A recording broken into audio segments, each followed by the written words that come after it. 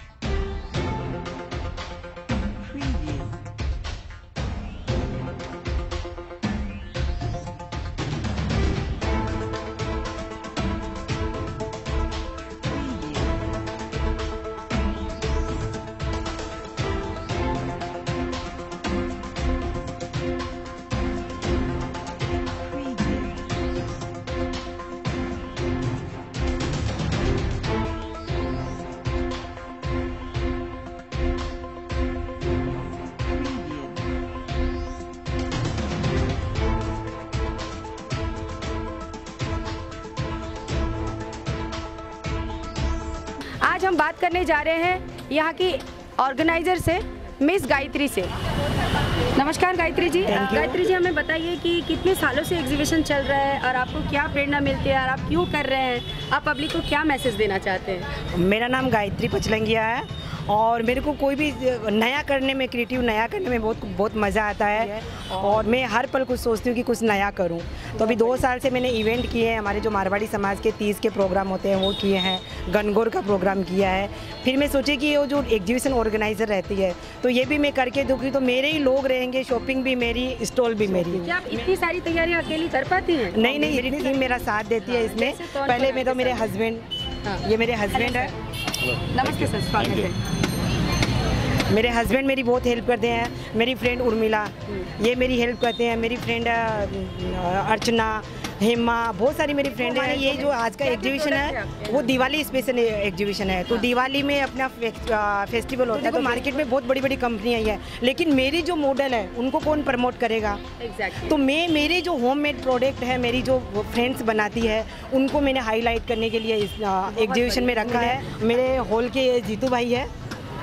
जीतू भाई ये भी मैं पूरा मेरे जो भी मेरे इवेंट रहते हैं नमस्कार जीतू भाई नमस्कार। आ, आपको कैसा लग रहा है ये एग्जीबिशन पे और आप यहाँ पर क्या भूमिका निभा रहे हैं बहुत अच्छा लग रहा है और पब्लिक का मतलब बेनिफिट इसमें मिलता है पब्लिक को अच्छा और सबका मतलब सुविधा के लिए सबको मतलब अलग अलग new new item shopping Diwali shopping करने के लिए और सस्ता और अच्छा आइटम है सब। मेरे जो प्रोडक्ट्स हैं सब सेमी प्रेशर ज्वेलरी है बट सेमी प्रेशर ज्वेलरी में भी क्वालिटी मैंने बहुत अच्छी मेंटेन किए हुए हैं। अ, ये आई कंपनी से रिलेटेड है। आई कंपनी जो नंबर वन है वॉशिंग मशीन मैन्युफैक्चरिंग में। Okay Okay. और वो लिक्विड भी बनाती है क्योंकि उनको पता है कि जब हम मशीन बनाते हैं तो किस तरह का वॉश जो कपड़ों को वॉश करने के लिए क्या चीज़ यूज़ में लानी चाहिए? तो इसलिए वो लिक्विड भी बनाते हैं। उन्होंने भी ये साड़ी खरीदने के लिए उनको बहुत पसंद आई हुई है। मैं खुद डिज़ाइनर हूँ एंड ज्वेलरी का मेरा खुद का बिज़नेस है।